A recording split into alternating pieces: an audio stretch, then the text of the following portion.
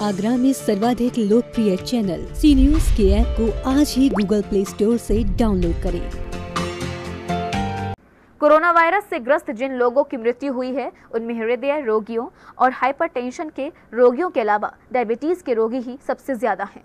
Corona virus से ग्रस्त जिन लोगों की मृत्यु हुई है, उनमें हृदय रोगी और हाइपरटेंशन के रोगियों के अलावा डायबिटीज़ के रोगी सबसे ज़्यादा हैं। यह हाल चीन, अमेरिका, इटली से लेकर भारत तक सभी जगह एक जैसा है। एक अध्ययन के मुताबिक भी जिन लोगों को डायबिटीज़ की समस्या है, उनको कोरोना वायरस के कारण उनके जीवन को सबसे ज़्यादा खतरा है। जब ये वायरस उनको पकड़ता है तो उनको ज़्यादा नुकसान पहुँचता है।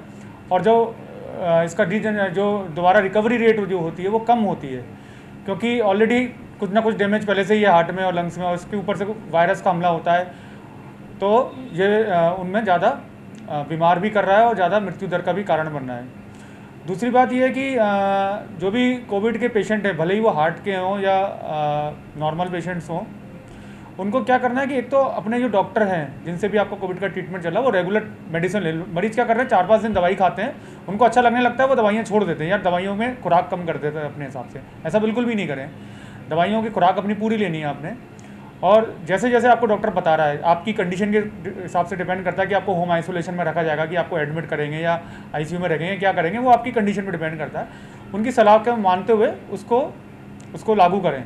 डायबिटीज़ से ग्रसित लोगों को संक्रमण का खतरा हमेशा बना रहता है। फिर चाहे कोरोना वायरस हो या सामान्य कोल्ड या फ्लू, हमारे शरीर पर जब भी किसी भी बीमारी का संक्रमण या तनाव का हमला होता है तो उससे बचाव के लिए हमारे शरीर का प्रतिरक्षा तंत्र, यानी इम्यूनिटी सिस्टम अपना काम करना शुरू कर देता है। प्रक्रिया में हमारे शरीर में ग्लूकोज या शुगर स्तर बढ़ जाता है। कोविड के मरीज़ जो होते हैं, उनको जब हम ट्रीटमेंट देते हैं तो एक स्टीरॉयड नाम की जो इंजेक्शन्स होते हैं या टैबलेट्स होती हैं, वो दी जाती हैं, जो फेफड़ों के इन्फेक्शन को कम करने के लिए उपयोग में ली जाती हैं।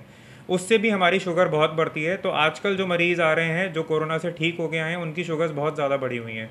तो उस चीज़ से आप घबराएँ नहीं, आपको अपने खान पान और दवाई पर ध्यान रखना है। थोड़ी सी डोज वगैरह जो होगी दवाइयों की, वो बढ़ाई जा सकती है। उसके साथ साथ उसको कंट्रोल किया जा सकता है। तो शुगर्स कोविड के ट्रीटमेंट के पास हर मरीज़ की बढ़ी रही है, क्योंकि वो हम स्टेरॉयड इंजेक्शन दे रहे हैं। तो उस चीज़ से ना घबराएँ और बाकी अपना ध्यान रखें साफ़ सफ़ाई रखें और मास्क पहने बाहर जाते वक्त अपना ध्यान रखें।